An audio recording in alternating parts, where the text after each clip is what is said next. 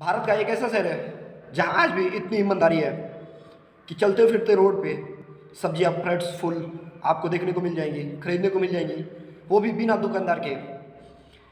आज की इस महफिल भरी दुनिया में किसी भी दुकान पे जाने से पहले आपको एक शॉपकीपर मिलेगा, जो कि आपसे पैसा लेने के लिए और सामान देने के लिए बैठा रहता है। लेकिन भारत का एक ऐसा शहर है, जहाँ आज भी इतनी ईमानदारी, निष्ठा है कि वहाँ पे कोई दुकानदार नहीं होता है। आपको सामान का कॉस्ट लिखा रहेगा, एक बॉक्स रखा रहेगा आपको सामान जितना लेना है, उतना लीजिए और आप उस बॉक्स में डाल दीजिए। तो ये होती है ईमानदारी। तो वो कौन सा राज्य है? जानने से पहले हमारे वीडियो को लाइक और चैनल को सब्सक्राइब कर दें। तो चलिए हम बताते हैं, जी हाँ वो भारत का राज्य मिजोरम है जहाँ पे इतनी ईमानदारी निष्ठा है कि वहाँ पे कोई दुकानदार नहीं होता है सब्ज़ी बेचने के लिए या कोई भी सामान बेचने के लिए।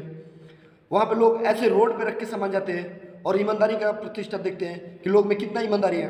तो ये होती है ईमानदारी। तो कैसा लगा ये इंटरेस्टिंग फैक्ट ऐसे इंटरेस्टिंग फैक्ट के लिए हमारे वीडियो को लाइक करें और चैनल को सब्सक्राइब करें। मिलते हैं आपसे फिर नेक्स्ट वीडियो में। जय हिंद, जय भारत।